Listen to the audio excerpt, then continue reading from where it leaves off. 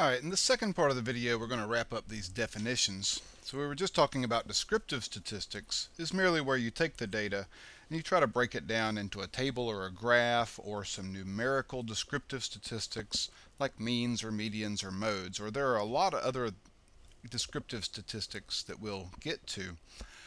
The other two main branches of statistics courses in the study of statistics are probability and statistical inference. Now, probability goes from everything having to do with games of chance, the probability of winning the lottery.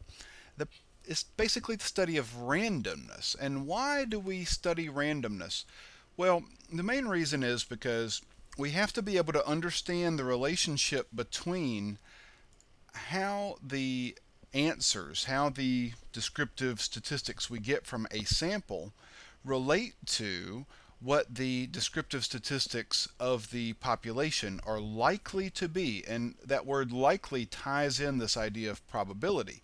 So it's a way of studying how statistics and parameters are related to each other. So we're going to do a lot of probability later on, but the the main reason for studying probability is so that when we get to the part talking about statistical inference, that is using a sample to make a statement about what's likely going on in the entire population, you'll see how probability is important. Now let me just give a quick uh, example of statistical inference. So Descriptive statistics is when you take your data and you just calculate. For example, in this study, we might calculate that 43% of people approve of President Obama. That 43%, if we're talking about the sample, 43% of our sample supported President Obama, that's descriptive statistics. However, when we take that next step and say, well, that must mean that 43% or somewhere near 43% of people, of all people in the United States, approve of the job that President Obama is doing. Now, explicitly, when this is a, a site a, from Gallup.com, Gallup polling organization, and we can see here a steady downward trend in the approval rating of President Obama. Let me show you where at the end of this survey they explicitly talk about the inferential statistics. They tell us about their survey methods, and they had a random sample of 3,571 adults aged 18 and older living in 50 states and Washington, D.C. And they tell us this is really where the probability comes in and the inferential statistics. For results based on the total sample of adults, one can say with 95% confidence, or there's a 95% probability, that the maximum margin of sampling error is plus or minus 2 percentage points. What that tells us is when we look at this 43%, there's a 95% chance that everyone in the population that's 18 and older, that the true parameter is somewhere within 2 percentage points of this sample statistic of 43%. But again, we'll get to that in more detail later in the course. Now let's talk about some different types of variables we might want to collect. Uh, two basic categories are categorical, where you're just putting somebody in a box based on a category or a type, and quantitative data. So sometimes people will call categorical data qualitative versus quantitative. How can you tell the difference? Well, quantitative always has to be a number, so it's always numerical, but also quantitative data has to be the answer to a question how much or how many of something. How much or how many. qualitative or categorical, it might be a number or it might be a word, but if it's a number, the number is standing in for a word. It's like a code, like a zip code. A zip code isn't quantitative data. It just tells us an idea of where someone lives, a postal code, for example. Um, let's look at the two different types of categorical data we have. nominal data is just a name. It comes from N-O-M in French. Uh, nominal just means that's just a label you stick on something. Ordinal, it's like nominal data, but it has a specific order. Now, some quick examples. A quantitative variable, an example, would be drink size if you're measuring it in ounces or liters. That's quantitative. But drink size, if you're ordering a small, medium, large, or extra large, that would be an example of categorical data, but it's also ordinal. Ordinal because there's a specific order that these answers make sense, that have to be ordered from small to extra large. Uh, color, red, blue, green, for example, that is qualitative or categorical, but the subtype, it's not ordinal. There's no obvious order to those colors that everyone would accept. And so this is just going to be nominal data. Race, like uh, Caucasian, Asian, Hispanic, etc., those races would also be nominal because there's no obvious order to them. Same thing with gender, male and female. Professor ratings at the end of a course, poor, fair, good, excellent. That's ordinal because there is a definite order that those answers would go in. Now what about type of car? Compact, small, midsize, large. Well, those four examples right there could be ordinal because you can see where they go from order from smallest to largest. However, if we were to change this list and add something like um, convertible,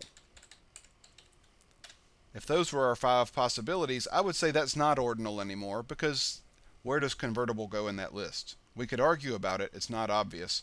So that would become nominal. So you see how some of these things can, can be a little tricky. Now, if we go back and look at quantitative data, there are also two types of data that are quantitative. And let me break it down on this sheet right here. Quantitative data, it's always a number. And it's either going to be ratio data or interval data. Now ratio data, it's this is most quantitative data is going to be ratio data. The way to tell is it has to pass two tests. The first test is that your data has to have a true zero. That means zero means nothing. Zero means the absence of anything. Another test for ratio data is that twice the number really means two times something. It really means twice as much or twice as many things. Otherwise, it's going to be interval data. Let's look at some examples of interval data. IQ is interval data. It's a man-made scale where there's no such thing as a zero IQ.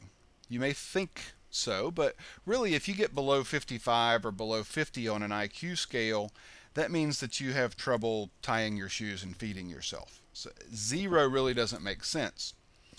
Also, if you have uh, an average IQ is around 100, if you take that 55 and you double it, what does it mean twice of? It doesn't really mean twice anything. Same thing with SAT scores in the United States, a minimum of 200. So there's no true zero. The minimum is 200. That's if you answer no questions correctly on the test. What if you doubled that and got 400? Well, 400 is not a great score. It's not a really horrible score, but it's not it's really not very good. But what what does it really mean in relation to the 200 getting no questions right? Well, 2 times no questions right is still no questions right. So if you double a 200 on the SAT, it doesn't mean twice anything. Similarly with degrees Celsius, there is a zero degrees Celsius. That is the temperature at which water freezes. Um, but it's not absolutely no no heat or no temperature.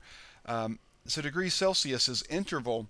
There is a temperature scale that is ratio, but that is uh, degrees Kelvin. So degrees Kelvin would be ratio because absolute zero on degrees Kelvin means there's no heat. Atoms stop moving at that point. Shoe sizes, also, uh, for adult men in the United States at least, a zero shoe size does not mean uh, that your foot is zero length. It's actually uh, about a five or for about a five or six inch foot um, shoe size. So zero doesn't really mean nothing or zero.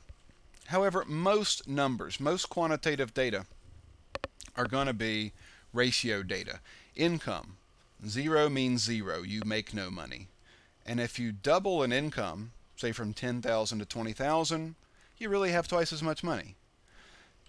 Number of students in a class. Uh, if I have zero students in a class, that really means zero. It really means nothing. But if I go from 10 to 20 students, I really have twice as many students. So this is ratio data. Uh, the amount of water in a glass. You can have zero ounces of water, it really means nothing. So this is ratio data. And if I go from two to four ounces, it really does mean that I have twice as much. It really means twice as much data. And so most things you can think of are interval data. Ratio, uh, sorry, are ratio data. Most things are ratio data. Interval are really these man-made exceptions to the rule for the most part. So last little definition is just a sample survey, which I think you understand what that definition means anyway. It's just a survey used to collect data on a sample. And so in the next video, we're going to look at descriptive statistics. We're going to start looking at if I have a lot of data, how do I make tables, graphs, and numerical summaries of this data? And we're also going to look at some tips and tricks about how to do this in Excel.